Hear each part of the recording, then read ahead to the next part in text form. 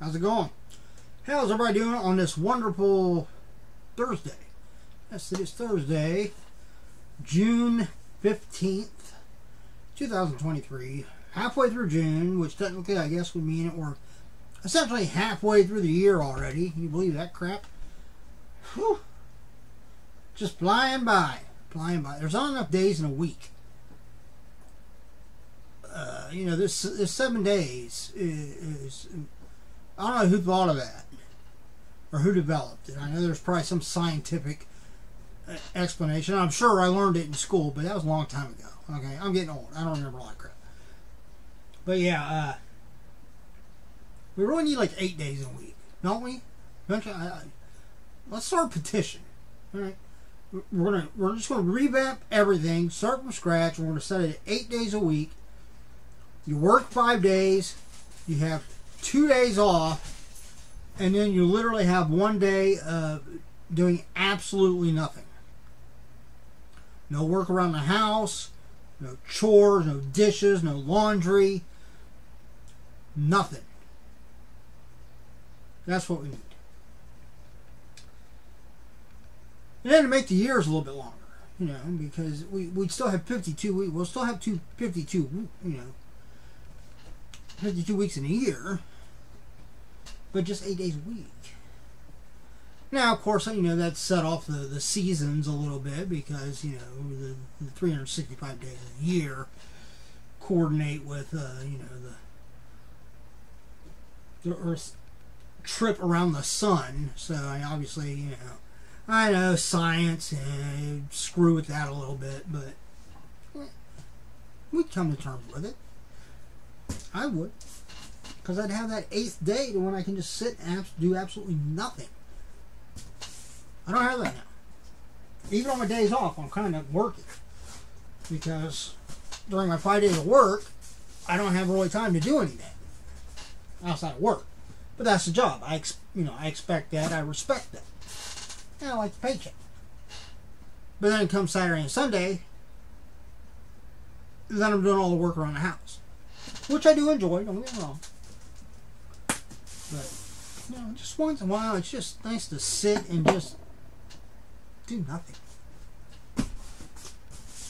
All right, we're not doing nothing right now. Right now, we're gonna dive into this box. I went on and ordered a mystery box from directly from Funko. I saw a video by, I believe it was Franchise Kicks. I think. Yeah, I'm almost positive it's Franchise Kicks and he was unboxing. I think he ordered two of each box, but he ordered. I mean, he was unboxing one of the. I don't remember what the other other box was that they had, but they had this box and then they had another mystery box, and he had ordered I think two of the other mystery box, and he was doing a video opening one of those up. And, and you know, after I watched the video, I got to thinking, I was like, hey, I wonder if they have any uh, any of those left on Funko. So I went to the Funko shop, and uh, the one that he was unboxing, they were sold out of. But the other one, they still had some, so I went ahead and, and got one of them. What the hell? I've never bought a mystery box from Funko. Now I know from watching videos, a lot of times, outside of whatever, like the the particular, you know, normally in each of their mystery boxes, there's like a particular pop. Normally it's a Freddy Funko, like a special one that you can only get in that box. And then the other pops in the box are normally kind of like filler of their stock. Um, so, I mean, I wouldn't expect anything outrageously valuable or anything like that. But, eh, why not? What the hell? So this is the 25th anniversary Freddy Funko Mystery Box. I believe that's what it's called.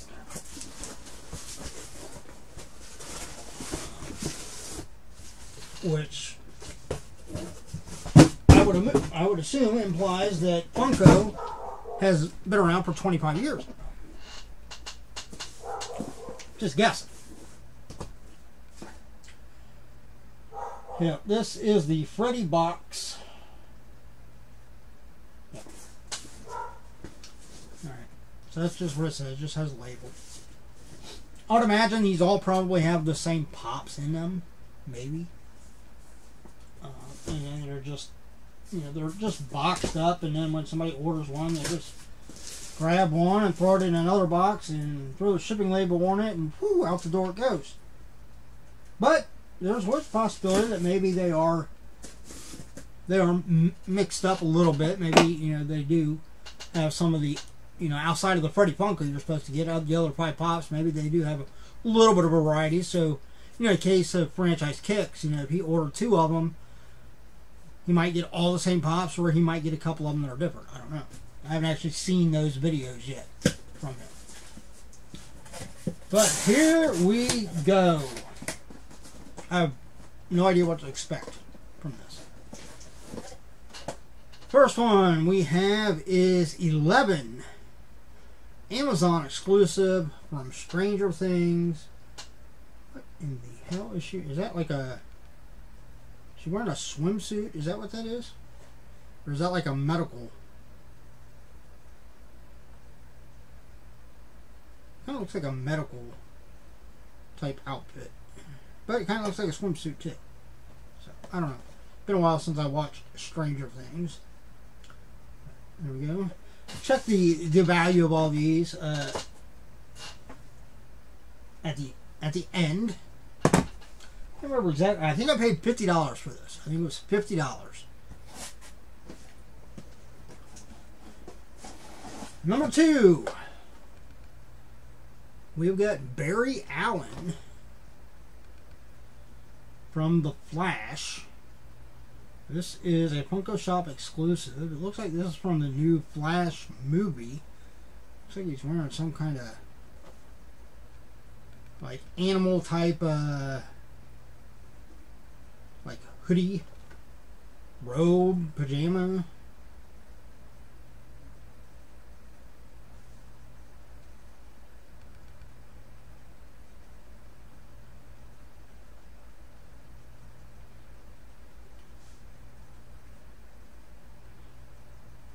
Well, I'm not gonna I'm not gonna tell all the all the characters they have on the back of here, because if you're looking forward to seeing the Flash movie, which I, I believe it's out now, isn't it, or is it getting ready to come out? Actually, I think it's coming out like what, like next week or something like that, or maybe this coming weekend. Um, that's one I probably I probably would like to go see. Actually, I might see if, if tickets are available. I might go ahead and get one. Uh,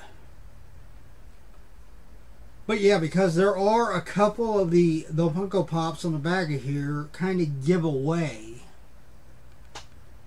some other characters that we haven't actually seen in any of the trailers yet. So, so I won't show that. But yeah, there we go. I mean, I'm, I don't what I'll keep this. I might hold on to it for a little while since it's a Funko Shop exclusive and the movie's just coming out. I might hold on to it for a while, see what it does. Um, I mean, just looking at the pop, I don't know how. Even after the movie's out, I don't know how in demand this pop will be. But I could be wrong. You know, that might be a particular scene in the movie that everybody loves, and you know that pop might might end up doing you know gangbusters. You know. So, probably makes sense to hold on to it for a little bit. Number three, here is the Freddy Funko. This is the Anniversary Freddy, 25th Anniversary Funko Shop exclusive. Here we go. So, obviously, I'll hold on to that one for a while too. They're Freddy Funkos not all of them, but a lot of them, you know, are in big demand. So obviously, this one right now probably wouldn't be in major demand because, you know, until they sell all the boxes, you know, anybody that went on and got one of those boxes is guaranteed to get this pop. So I don't know how many of them are out there. Um, and of course, I'm sure they have some that they produced not even for those boxes. They probably produced more of those pops than they were going to do like actual boxes.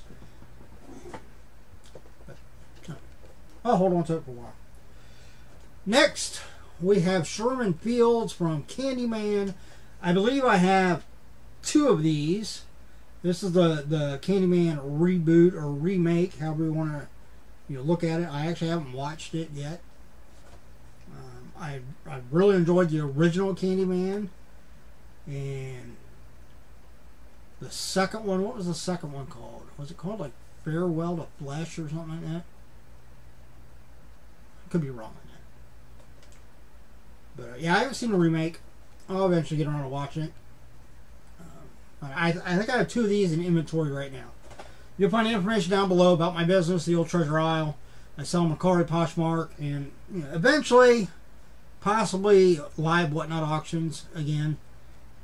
But I didn't have much luck when I was doing those.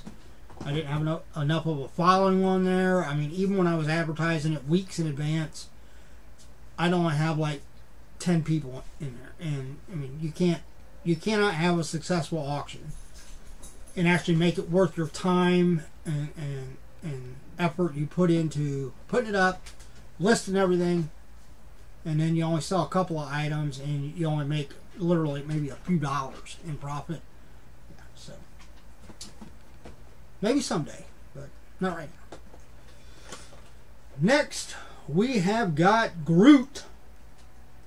This is from looks like Guardians of the Galaxy Volume Three which I did not see either. Actually, I had a ticket to go see it in the theater, and then that night I just kind of felt like, eh, I really don't want to go to the theater. So, I figure, I think I already have it pre-ordered through Disney, the Disney Movie Club, so I'll just wait for it I get, get it and just watch it in my theater. I got a 120-inch screen with an Anker Nebula Cosmos projector. I tell you right now, I'm no way sponsored by Anker, but if they, uh, if they wanted to, hey, here I am. But I cannot say enough about Anker products, in particular, uh, my my Nebula Cosmo um, projector. I've just got the HD 1081. I didn't get the. I think it's the. They call it the Cosmo Cosmo Max or, or something like that. They have like a 4K projector too. Um, of course, I've had mine for a few years now, so they might even have a newer model that's higher than that. But yeah, I just went with regular 1080p HD. Um, it's a smart projector. It's got like a hard drive in it. It's got apps that you can put actually on the projector. Um, it's, I think it's got an extra slot. So if you run out of room on the small hard drive in the projector, you can actually put in a memory card and you know, if you need to put more apps on there for other services and stuff you have. Um, the picture is incredible. Um, I just yesterday um, ran a second HDMI cable because um, it's got two HDMI um, inputs. I had my PS3 hooked up through one. I went ahead and got another uh, HDMI cable and ran one for my PS4. So I'm eager either tonight or especially over the weekend. Um, I'm gonna check out and see how how cool it is to play play some of my PS4 games on a big screen. And and no, I haven't gotten a PS5 yet. I'll you know I'll wait another year or so. But anyhow, there's Groot.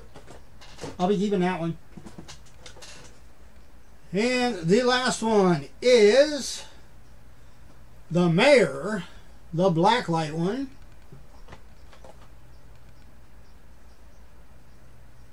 From Nightmare Before Christmas.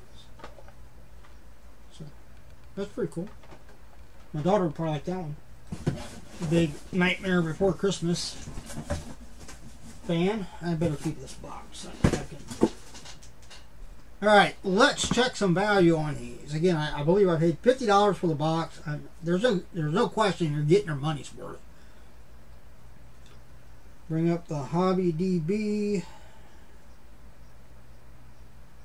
I either took something off my phone or I added something to my phone because all the all the icons are like moved around. Alright, starting with the Blacklight Mayor, which I won't be keeping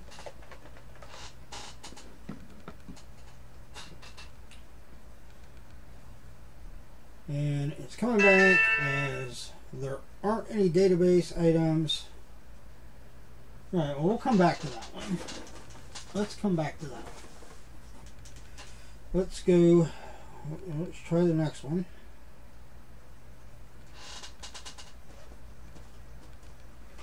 A lot of these being newer, they might not be actually in the HobbyDB yet. Alright, this one is Groot. Oh, I just noticed he's got like wings or something. And the Groot is coming in at. This thing will not. It's got this stupid little pop up ad. What the hell out of the way?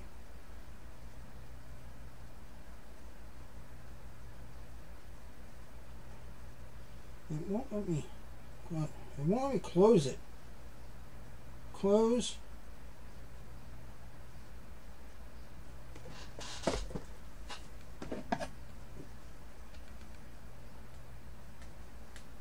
That ain't gonna work.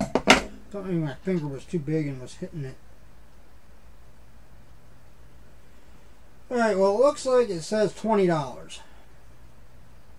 But I can't tell because it's got a stupid ass little pop-up ad at the bottom. I hate pop-up ads. You know, keep that crap off my screen.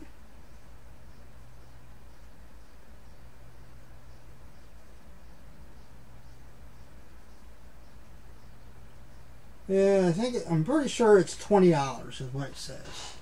I can't tell though because this stupid pop-up ad is in the way. It won't let me get it out of the way.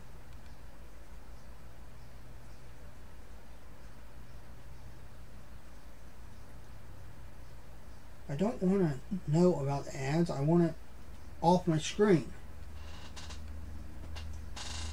I think they, they, they do that specifically so that you can't get rid of it. Alright, well. The Candyman one. I'm guessing it's probably like maybe 15 bucks at the most. Probably not even that. 13.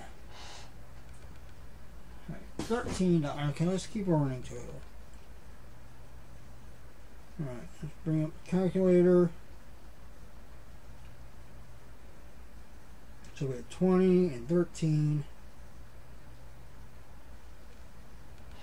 Alright. We'll look up the Amazon exclusive 11. Um, Stranger Things. And it says 13.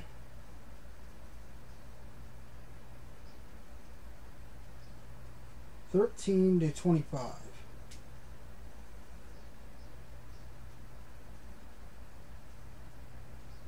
All right, so it's it's saying, and this don't make sense to me, that the the Amazon exclusive sticker is coming in at thirteen dollars, but the special edition sticker is coming in at twenty five dollars. Now that could be right, and it could be just because right now more of the special edition stickered ones are actually being sold among collectors and there, therefore kind of inflates the market on those, thinking that those are more in demand. Whereas it might be that just a lot of people that get the ones with the Amazon exclusive sticker aren't selling. So, but we will go with thirteen dollars. All right, and we'll go back, and we will check the Barry Allen that I will be holding on to for a little while.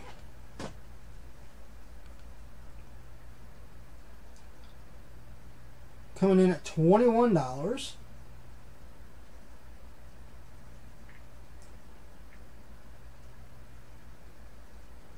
I just realized that if you, as soon as it comes up, if you scroll down and look at the price real quick, you can do it before that little pop-up ad comes up.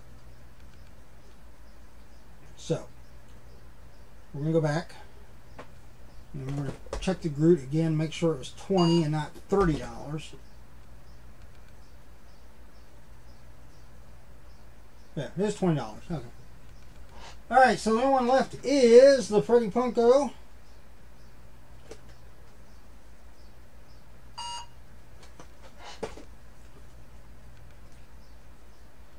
Anniversary Freddy Funko is coming in at twenty-four dollars.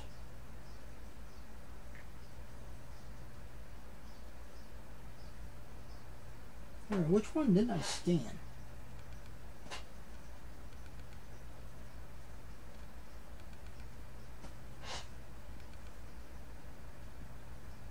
Oh, the mayor. The mayor is the one that didn't come up with a price. Alright, so see if we can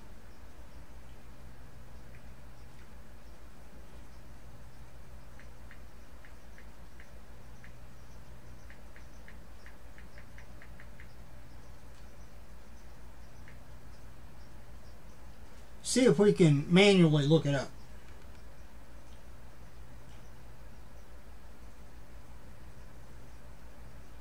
Alright, mayor. Well, that one's not it. That's a custom one.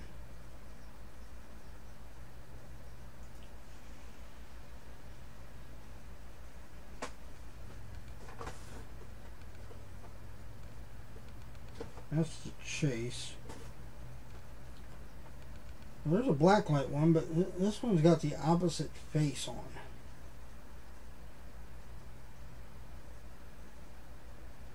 Alright, well, it's not bringing this one up an L, so we'll just, we'll just say 15 bucks for that one. So grand total, $106. Paid $50 for the box, plus whatever shipping was. Um, I'm not going to complain about that. Because even keeping the Groot, you know, eventually, like I said, the, the Freddy Funko and the Barry Allen, I'll you hold on to for a little while. The Mayor Blacklight, the Sherman uh, Sherman Fields, and then 11.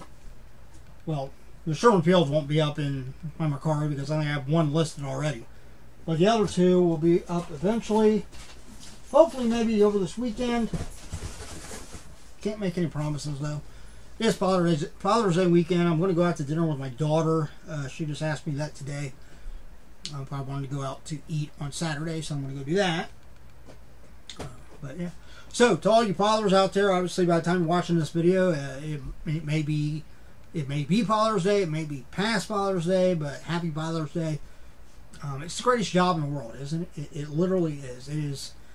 Um, I was not ready to be a dad. I, I openly admit I wasn't expecting to be. Of course, you know, if you, if you bottom line, if you play around and you don't take the proper precautions, there's always possibility. Um, in this case, it was, and uh, I wouldn't change it for the world. Um, there, there isn't a minute.